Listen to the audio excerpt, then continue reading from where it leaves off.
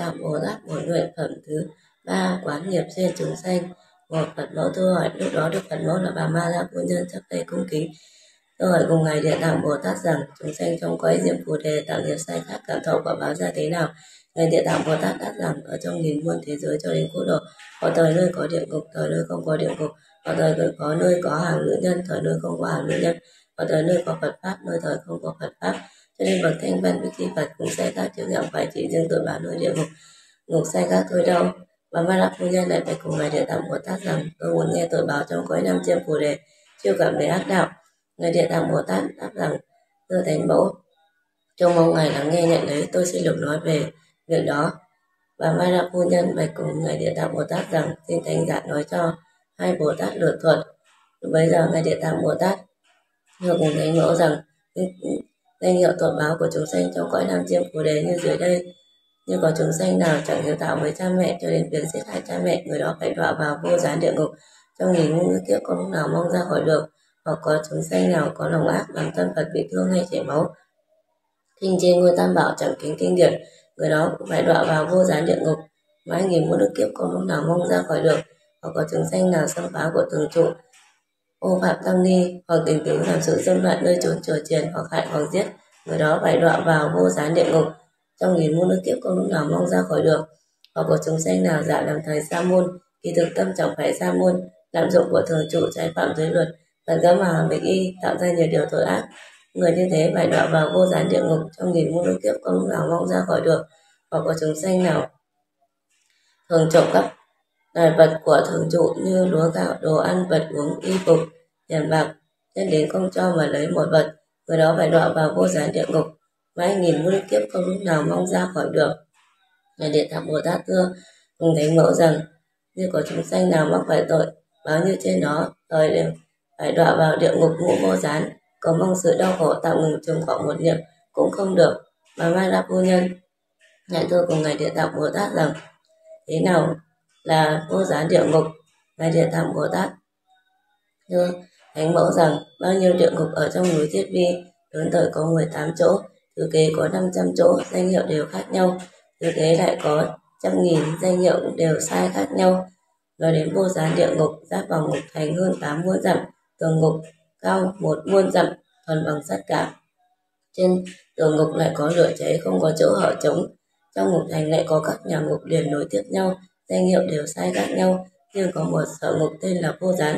Ngục này có chu vi một muôn tám nghìn dặm trên tường ngục tường ngục cao một nghìn dặm, thuần bằng sắt cả, lửa cháy hực hở suốt trên suốt dưới. Trên tường ngục lại có chó sắt rắn sắt buôn lửa đuổi nhau, chạy bên này xua đuổi sang bên kia. Trong ngục lại có giường rộng khắp muôn gặp một người thọ tội tự thấy thân mình nằm đầy chật cả giường. Muôn nghìn người thọ tội cũng đều tự thấy thân mình nằm đầy chật cả trên giường. Nó đều là do những tội nghiệp mà cảm bởi ra tạo ra như thế. Lại có những người tội chịu nhiều sự đau, chịu nhiều sự đau khổ, hộ trăm nghìn quỷ dạ xoa cùng các loài ác quỷ khác răng nanh bén nhọn, vận giường cơm cặp mắt trời sáng như chớp nhoáng, vòng tay cứng tựa đồng, bóc ruột bằng chặt. Lại có quỷ dạ xoa khác khác cầm chĩa ba bằng sắt to đâm vào mình người tội, hoặc đâm chúng vào miệng, vào mũi, hoặc đâm chúng vào lưng, vào bụng, rồi lại nhồi lên hư không để chia hấm để xuống giường, tươi thân lòng đốt để xuống giường lại có diều hâu mổ mắt người tội. Lại có rắn sắt cắn đầu người tội lưỡi thân lòng đốt khắp trong thân thể, đều lấy đinh dài, đóng xuống giường, kéo lưỡi ra cho cầy vừa trên đó. Lôi kéo người tội, nước đồng độ vào miệng, dây sắt nóng quấn lấy thân người tội. Một ngày một đêm, muôn lần chết, muôn lần sống lại. Đó đều là do những tội nghiệp mà cảm bời ra như thế. Trải qua ước kiếp năm, không có ngày nào mong thoát ra khỏi được khi thế giới này hư hoại, thời lại sanh nhờ qua địa ngục ở thế giới khác. Khi thế giới khác đó hư hoại, thời lại sanh nhờ qua cõi khác nữa.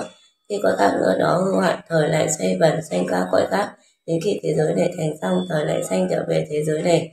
Những sự tự báo trong địa ngục vô gián là như thế đó. Lại địa ngục đó có năm điều nghiệp bạc nên gọi là vô gián. Những năm điều nghiệp bạc đó là những gì? Một là những người tội trong đó phải chịu khổ cả ngày lẫn đêm trải qua ước kiếp năm, không lúc nào ngừng ngớt nên gọi là vô gián. Hai, một người thọ tội tự thấy thân mình đầy chật cả ngục. Nhiều người thọ tội mỗi mỗi thân đều tự thấy thân mình đầy chật cả ngục nên gọi là vô gián.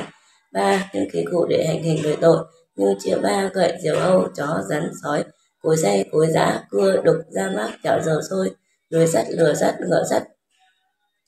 Sắt, sao sống niềng đầu, nước rất nóng dưới thân đói ăn hoàn sắt nóng, cả thời uống nước sắt thôi, từ năm trọn kiếp đến vô số kiếp. Những sự thống khổ nối nhau luôn một giây không lúc nào ngừng ngớt, nên gọi là vô gián.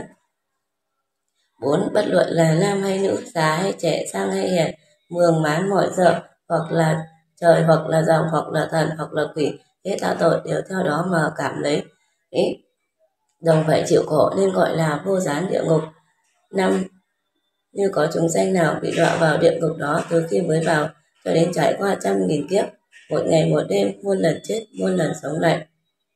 Cầu mong sự tạm ngừng chừng vọng một niệm cũng không được, trừ khi tội nghiệp tiêu hết mới được thọ sanh.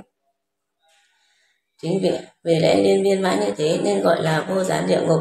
Ngài địa tạng bồ tát thưa cùng thánh mẫu rằng, nói sơ lược về địa ngục ngũ vô, về địa ngục vô gián như thế đó, nếu nói rộng ra thời cùng tên của các ký cụ cùng những sự tội khổ trong địa ngục thời nói cùng kiếp cũng không thể nào mà thuật cho hết được bà ma la phu nhân nghe ngài địa tạng bồ tát nói như thế xong khôn xiết lo sầu ồ đảnh lễ bồ tát chắc mà lui ra kinh nghiệm ha ha ha 满心我的所哈。